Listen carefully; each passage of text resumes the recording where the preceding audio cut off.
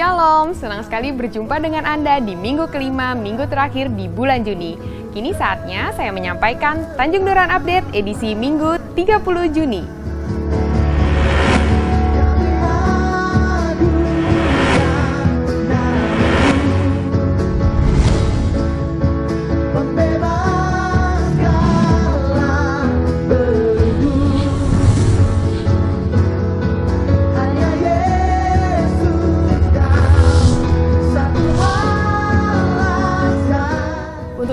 Masih baru di tempat ini, mari bergabung di dalam KUL atau Community of Love, di mana Anda bisa digembalakan dengan lebih baik lagi.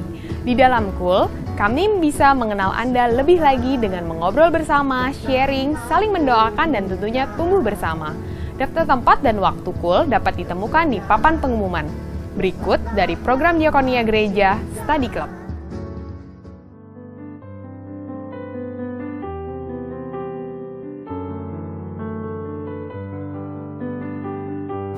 Gereja saat ini memiliki program pelayanan Study Club.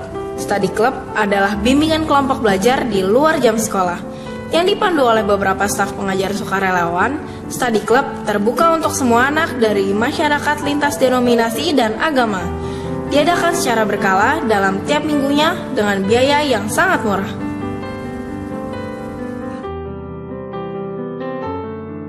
Study Club mempunyai visi yang luar biasa loh. Yang pertama, menjadi garam dan terang dunia. Dan yang kedua, membantu anak-anak untuk berprestasi dalam bidang akademik serta moral. Lalu, apa yang Anda bisa lakukan? Anda dapat memberikan barang, baik baru maupun bekas, seperti buku pelajaran, buku pengetahuan, komputer, printer, dan lain-lain. Anda juga dapat ikut membina dengan mengajar keterampilan seperti musik, komputer, maupun keterampilan lainnya yang Anda miliki. Anda juga dapat menjadi donatur tetap secara sukarela rutin per bulan.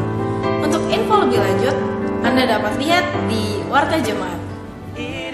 Nah, Study Club menerima pendaftaran murid baru dari TK sampai dengan SMP. Ditujukan untuk keluarga kurang mampu. Untuk info lebih lanjut dapat dilihat di Warta Jemaat Anda.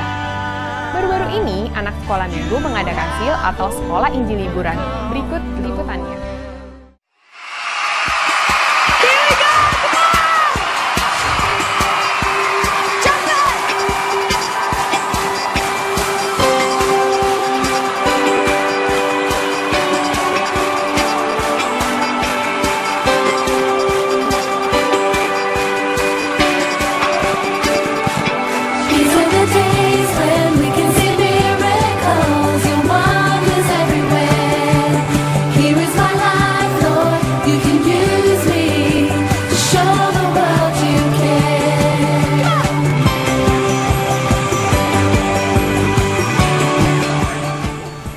Liburan sekolah kali ini, tim sekolah minggu mengajak adik-adik mengikuti acara Sekolah Iji Liburan atau sering disebut SIL.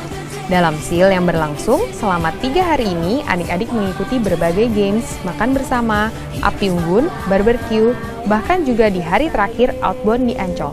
Dan tentunya yang lebih terpenting lagi adalah adik-adik belajar mencintai Tuhan dan papa mamanya. Untuk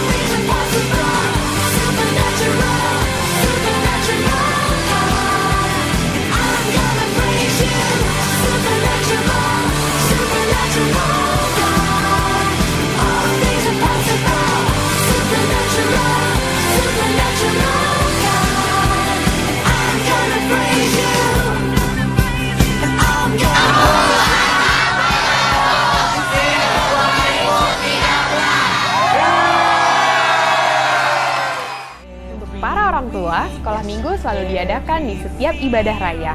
Ajak anak-anak Anda untuk bergabung di kelas-kelas sekolah minggu dan mengikuti program-program menarik setiap minggunya. Ditunggu ya! Nah, sekian dulu update minggu ini. Sampai jumpa di ibadah bulan Juli yang lebih dahsyat lagi. Tuhan Yesus memberkati.